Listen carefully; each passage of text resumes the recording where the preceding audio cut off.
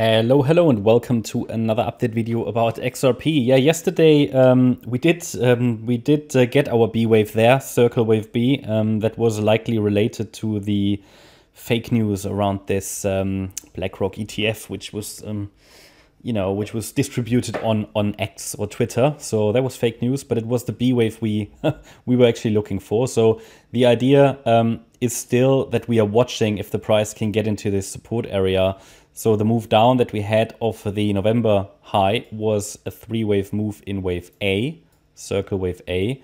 The move up was a three wave move in wave B, circle wave B.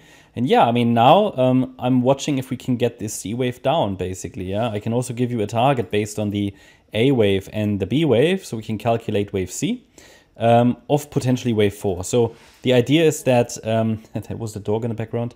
The idea is that as long as we're holding the 56 cent level, a fifth wave to the upside can unfold. Um, below that level, below 56 cents, any further upside will get unreliable and we're likely gonna see much lower prices as discussed in previous updates for the bearish um, scenario. But this is the pivot, 56 cents, yeah. It's not invalidation, so we need to see a sustained break below that level, but if it's a wave 4, we don't want it to get below the, the 61.8 retracement. Very, very important. Now, if this is a C wave down, then this here could now be the wave 1. We're watching for a wave 2 corrective rally, a third wave down, a fourth wave, and a fifth wave of C of 4. Now, let's zoom in a little bit. Um, so we might have to go... First of all, let's let's look at targets. Um, because the problem is we have a high B wave. Okay, the A wave was a three wave move. That always makes a high B wave likely. But if the B wave is high, then sometimes in a C wave, we don't go below the low of the A wave. Yeah, I know it's complex, but that's just what it is, unfortunately. So the C wave length is normally calculated based on the length of the A wave. Yeah, so they often have yeah a relationship, uh, a fib relationship, where we say the one-to-one -one ratio is normally a first key target for wave C. Now it's already arrived there at 64 cents, okay? When it moved up and retraced the entire move again. So was that all of wave C?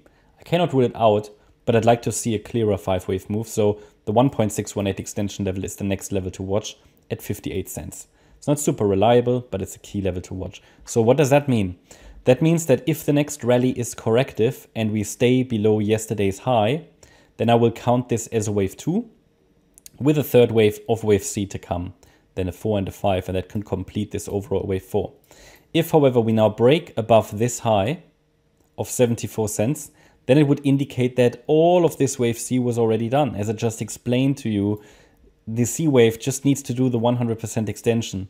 It would be possible, a running flat, a so-called running flat structure with the A wave in three waves, an overshooting B wave and a C wave that ends above A. But that structure would need additional proof because it's not a high probability structure. So I need to see a break above yesterday's high to confirm it. And if that is the case, then we move up more directly in wave 5 already.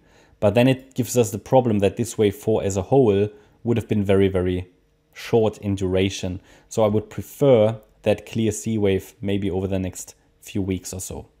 That's my update about XRP. I hope you liked the update. If you did, please hit the like button, leave a comment and subscribe. And if you really like the content, then please check out the channel membership. Thanks a lot for watching. Bye-bye.